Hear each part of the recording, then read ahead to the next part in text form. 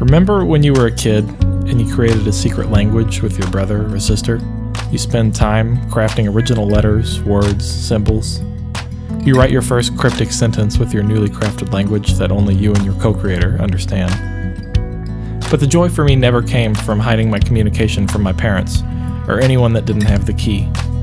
No, my favorite part was sharing the language with others, letting them in on the secret so they could talk too, using a new form of expression with new words that I helped create.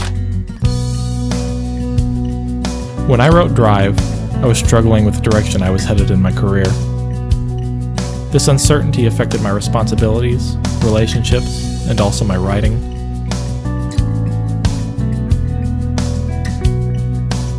Times, the only place that I felt I could escape was in my car. I would take the long way and turn the music up loud to drown out my thoughts.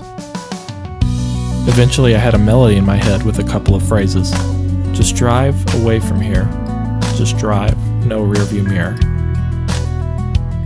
That's usually how it happens for me a small lyrical and melodic hook that gets stuck in my head.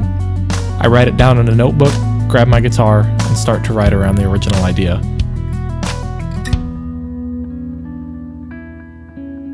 All of my writing is inspired by personal experience. It acts as a form of therapy.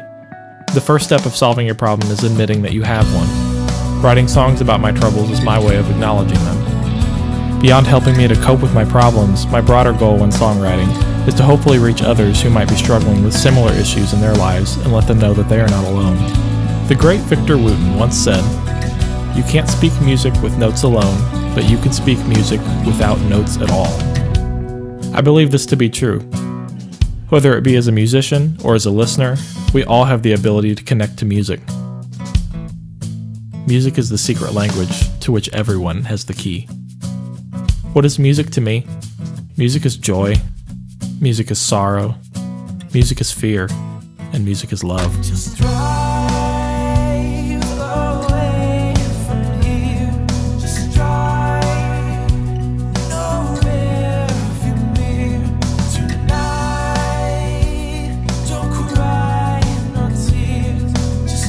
To me, music is everything.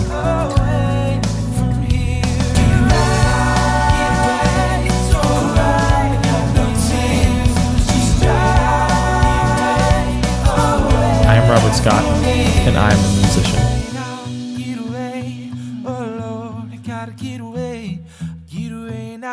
get away.